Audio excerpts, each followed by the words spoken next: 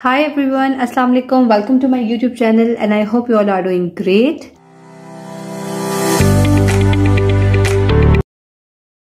अपनी recipe start करते हैं हम सिनेमन रोल्स की बहुत ही इजी बनाना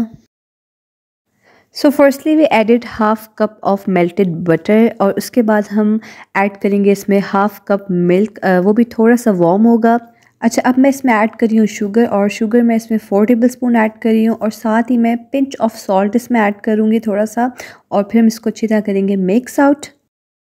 सो ये हो गया अच्छी तरह मिक्स और अब हम इसमें ऐड करेंगे दो अंडे और अंडे हमेशा रूम टेम्परेचर पे होने चाहिए जब भी आप बेकिंग करें और अब हम इसको अच्छी तरह करते हैं मिक्स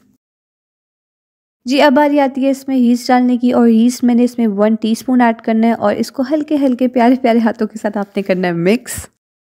अब हम इसको 10 टू 15 मिनट्स ढक के छोड़ देंगे और ये देखें जी 10 टू 15 मिनट्स बाद इस पर हल्की हल्की सी बबल्स आ गई हैं और इसके बाद हम इसमें थोड़ा थोड़ा करके मैदा ऐड करेंगे। अच्छा मैदा मैंने फ़ोर कप इसमें लिया है और इसको हम थोड़ा थोड़ा करके इसमें डालेंगे और इसकी बहुत ही सॉफ्ट सी डो तैयार करेंगे।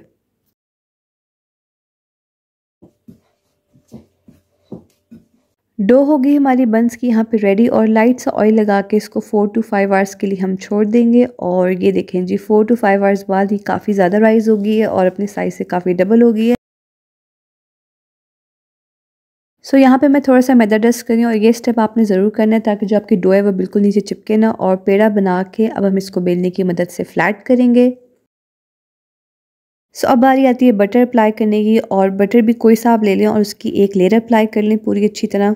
सो so, अब मेरे पास यहाँ पे है ब्राउन शुगर और मैं इसमें one teaspoon cinnamon powder add कर रही हूँ। अच्छा अगर आप चाहें तो अपने टेस्ट के मुताबिक अगर आपको पसंद है सिनेमन का टेस्ट ज़्यादा तो आप ज़्यादा भी ऐड कर सकते हैं बट मुझे बहुत ज़्यादा पसंद नहीं है सो इसलिए मैंने वन टीस्पून ऐड किया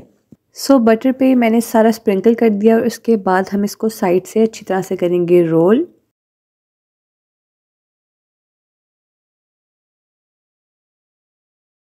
सो यहाँ जो रोल बनाए थे, इसको मैं इक्वली अब कट करूँगी और साथ ही मैंने बेकिंग ट्रे में थोड़ा सा बटर लगा के रख लिया था और इसके बाद हम इसको इसमें डालेंगे। तो यहाँ जो सिनेमन रोल्स हैं, वो मैंने कट करके ट्रे में लगा दिए थे और अब हम इसको अवन में डालेंगे और अवन मैक्सिमम ये अवन में 30 टू 35 मिनट्स बेक होंगे। हम बनाएँगे इसकी सॉस और यहाँ पे मैंने सिक्स टेबल स्पून शुगर ले लिए और यहाँ पे इसका तैयार करेंगे हम कैरेमल अच्छा यहाँ पे मुझे कैरेमल को देखने में थोड़ी मुश्किल हो रही थी क्योंकि मेरा पैन था ब्लैक तो मैं बार बार चेक करी थी कि कितना कैरेमल ब्राउन हो गया। सो आप लोग कोशिश कीजिएगा कि आप वाइट पैन लें। सो यहाँ हमारा कैरेमल देखें हो गया रेडी देन मैंने यहाँ पे फुल पैक ऑफ़ क्रीम इसमें ऐड कर लिया और इसको अच्छी तरह करेंगे मिक्स और मैंने इसको यहाँ पे इतना बॉईल करना है कि हल्का सा ये थिक हो जाए। बहुत ज़्यादा भी थिक नहीं करना, बहुत लाइट सा थिक करना है इसको।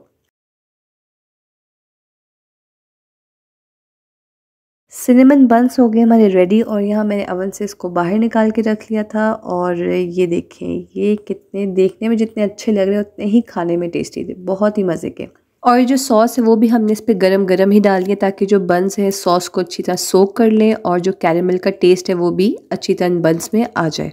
ये थी आज की रेसिपी सिनेमन रोल्स की। आप लोग ज़रूर ट्राई कीजिएगा। And one more thing if you haven't subscribe my channel yet go subscribe it ताकि जो भी आने वाली वीडियोस हैं और शॉर्ट्स हैं आपको उसकी नोटिफिकेशन आ जाएँ। सो so, इंशाल्लाह मिलते हैं नेक्स्ट वीडियो में। टिल देन टेक केयर अल्लाह हाफिज़